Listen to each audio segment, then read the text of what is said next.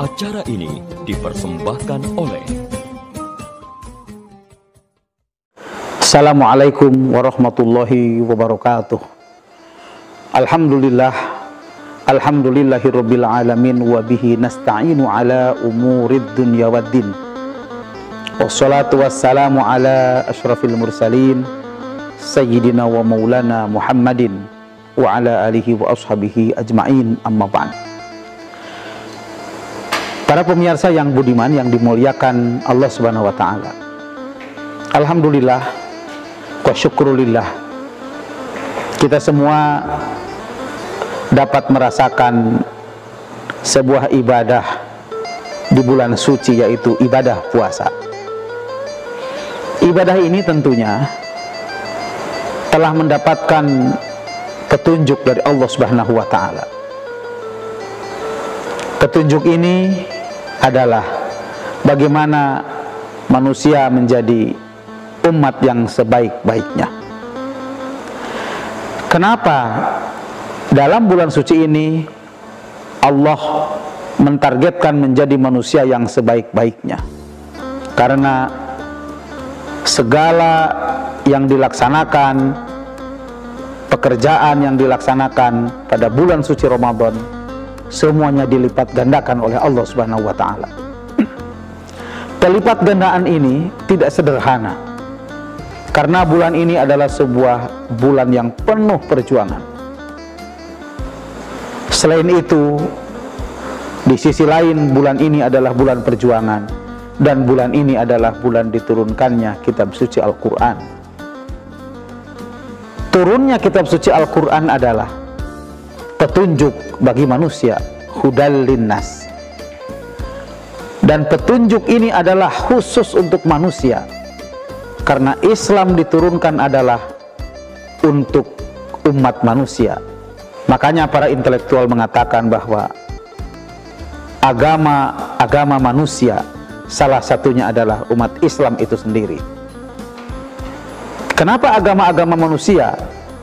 Karena yang memperjalankan agama itu adalah manusia berdasarkan perintah Tuhannya.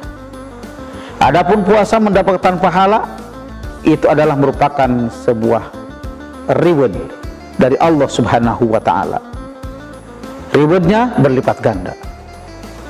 Kemudian Al-Qur'an itu adalah bagi manusia agar manusia bisa membedakan mana yang hak dan mana yang batil secara naruriah manusia punya akal pikiran, punya hati. Tetapi kadang-kadang fenomena di dunia realitas secara empirik manusia selalu mendapatkan apa yang namanya godaan. Godaan-godaan tersebut manusia akan ditawarkan dengan berbagai pilihan. Nah, Al-Quran menawarkan kepada manusia agar bisa membedakan mana yang hak dan mana yang batil. Dalam hal ini Al-Quran memberikan pesan kepada manusia bagaimana manusia yang baik itu adalah sebagai pembeda. Wabayyinati minal huda wal furqan.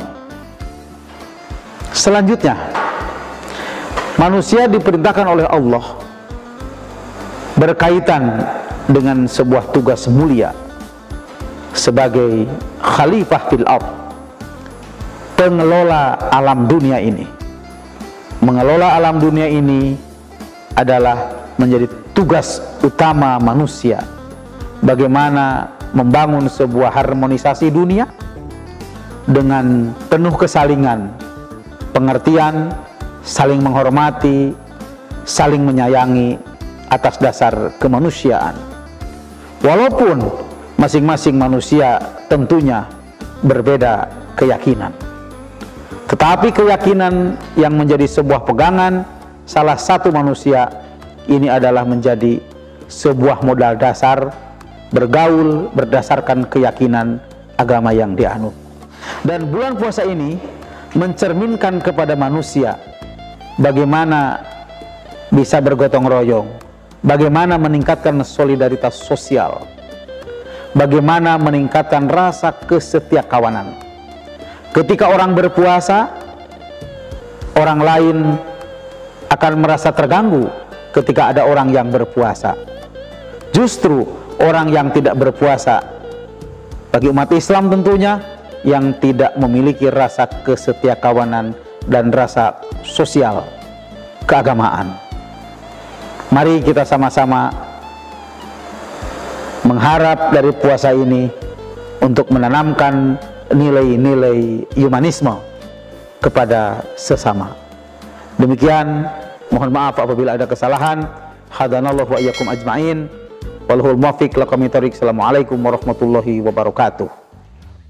Acara ini dipersembahkan oleh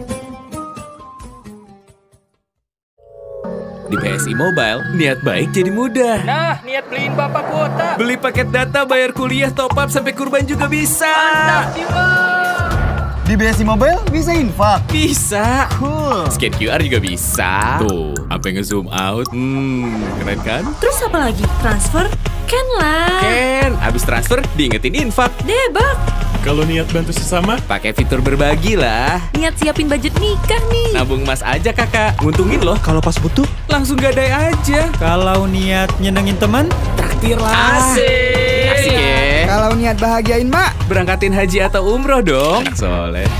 Niat nyenengin camat? Ya bayarin lah belanja nih kamersnya. Ya upload di saya. niat Nah tuh Masya diingetin niat baiknya kan. Banyak banget ya kebaikannya. Cara joinnya? Cuma selfie, rekening jadi. Punya niat baik, download BSI Mobile buat dapetin kebaikan dalam genggaman. Bank Syariah Indonesia.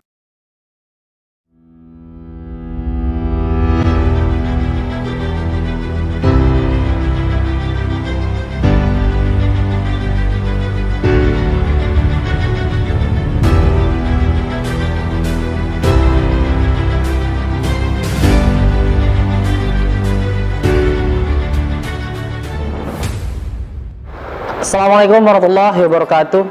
Perkenalkan, saya Rian Kamal Fikri, selaku Branch Manager BSI KCW Pangandaran, mengapresiasi dan mendukung penuh program Khazanah Ramadan yang ditayangkan setiap hari pada saat waktu berbuka dan sahur di semua platform media sosial Kemenak Pangandaran. Sebagai bank syariah terbesar Indonesia, BSI KCW Pangandaran hadir dan siap turut serta mengembangkan ekonomi syariah dan ekosistem Islam di Kabupaten Pangandaran. Selamat menjalankan ibadah puasa Ramadan 1444 Hijriah. Semoga kita menjadi pemenang di bulan yang penuh berkah ini. Assalamualaikum warahmatullahi wabarakatuh.